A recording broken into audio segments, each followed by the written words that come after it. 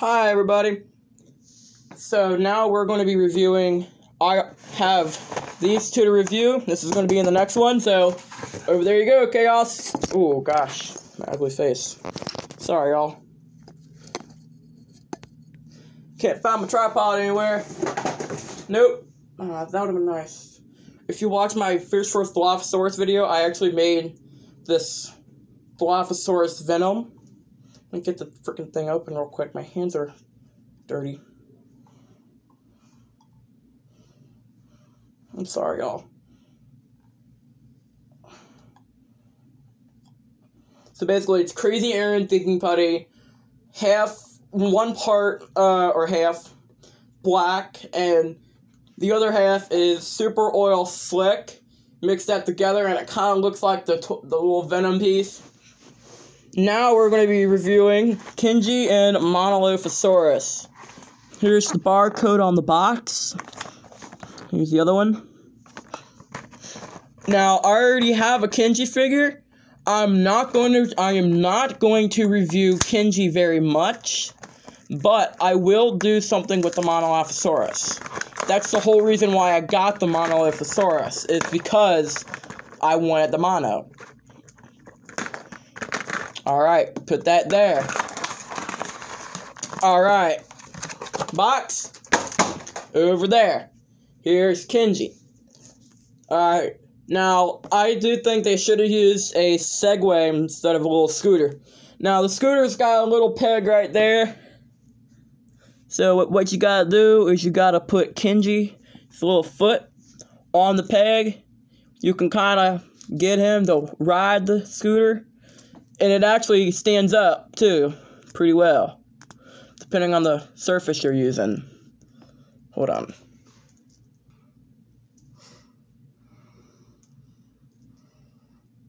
Now, I'm not gonna really do much with the with the Kenji, but I I'm sorry, y'all. I really I can't get this. But you kind of if you get a little bit of poster tack, it'll it'll stand up. So th this review is kind of going to be a little shorter than my usual ones. Because we're only going over a little figure. This is the new Monolophosaurus. Now, there's not much to it. Now, mine does have a little bit of missing paint on the teeth. Big bummer, but no big deal. This is a resculpt of the other ones. I'm going to get the other ones real quick. But first, let's go, show, go over the scan code. Because I know you all are going to want that, even though you already have it. Because I know there's people out there, and I'm one of them. So, there's scan code. Maybe. Yeah, that's the best I can do for y'all.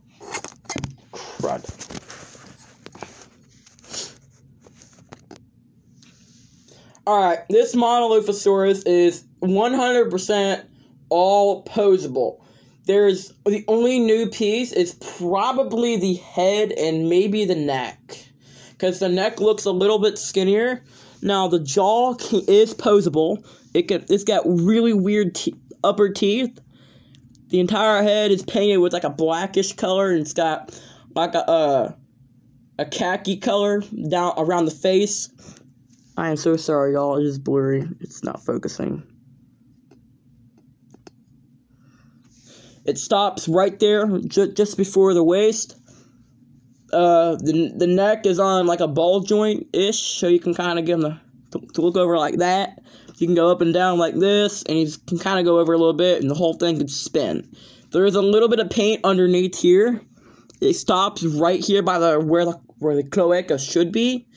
Now the arms are a little different on this. There, there's usually a, a joint right here, but there's not. So the arms can only go up and up and down like that. Same goes to the other arm. Other than that, it's basically the same as the other one. The feet are the same. It does stand up kind of better. It's actually kind. It feels a bit lighter than the than the Savage Strike, and I know we're getting a repaint of this and a Fierce Force Monolophosaurus. Uh, the feet and the nails are not painted, so that's kind of a bummer. So, alright, the tail, it does swivel like that. It does not move. This it would have been the action feature. Now, as I promised you all, I would attempt to get the other one's down. The other four. Let me find them. There's one. There's two. Where's the other one? There. Three. And I got one more. Oh, there is a, a different one. Dilophosaurus. Sorry, guys. My shelf is kind of crowded. Alright. Here's the first battle damage. I do keep poster tack in his feet because they're extremely loose. I bought him used. Here's a uh, other one. Now, here's what helps me. Crap. If you put the left leg back a little bit to kind of look like he's running, he will stand up for you. Almost every time. See? Supposed to be like this. Oh, let's balance it. Perfect. Uh, the neck look, Uh, the head is the only thing that's kind of new, and this is the, the the Dino Rivals one. I think this is my this one here is my favorite. Now, if I don't do him like that, he will fall over every time. But if I do him like that, he will not fall over. Now, I bet you like 90% of you don't have this guy. This guy is extremely rare. Here, a battle damage one. I actually bought him in Panama over online and I was really happy to find one. And we paid a pretty penny for it, but I think it was kind of worth it because I had the rest of the wave. Here's the Camp Cretaceous one. This one was widely released for a decent amount of time. This one is pretty gnarly, but I do think the, the other repaint is pretty good. I do not like the repaint of this one that's coming out probably next year the uh, this the repaint of the Savage Strikes is, is okay. I don't mind it because it's supposed to be one we actually see. I would like to see them do more with this mold right here. Alright, you guys. That is all for right now. That is a short little review. Alright, guys. Peace.